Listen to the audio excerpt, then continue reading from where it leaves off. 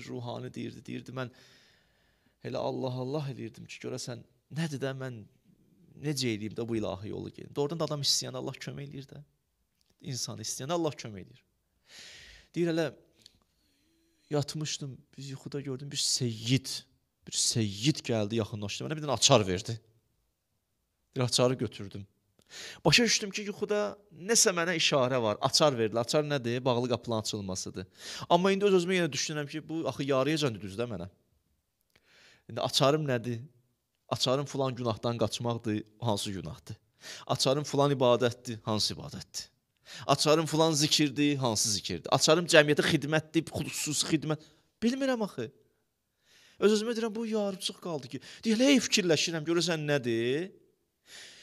Günorta vaxtı idi, deyir, gəldim deyir bir yerdə namaz qıldım. Namazda deyir qılıb qutaran kimi deyir, üzümü çevirdim, deyir 4-5 nəfər də arxamda var idi. Bir dənə də uşaq var idi, bir 8 yaşında.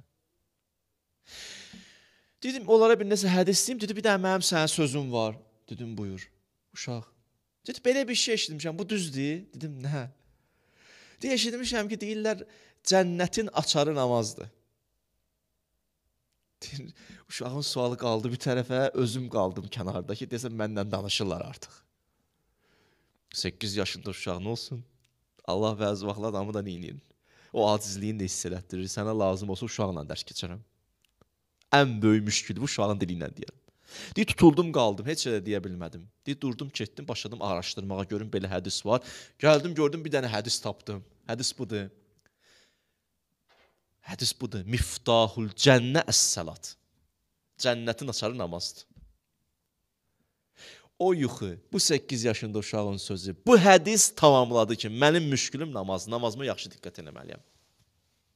Mənim kilidim səndim odur. Onu ilə açmalıyam bütün qapıları. Namazıma diqqət etməliyəm, namazı vaxtında qılmalıyam, namazımla yaxşı davranmalıyam, namazımı qəzaya verməməliyəm, namazıma xüsusi, xüsusi xuzu, xuşu anladım ki, mənim bütün həyatımın kilidi bundadır.